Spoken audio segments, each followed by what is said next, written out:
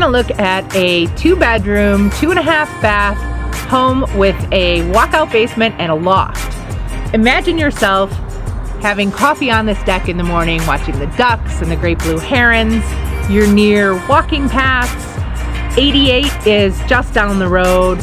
Arrowhead Golf Course is nearby. You can get to downtown Warrenville. You can even get easily to downtown Naperville from here.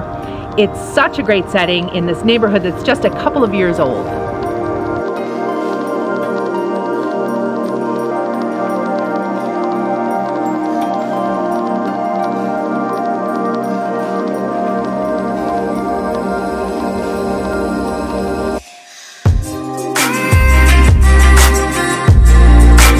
Beautifully designed kitchen is practical and spacious. It's got tons of counter space for cooking or baking or entertaining.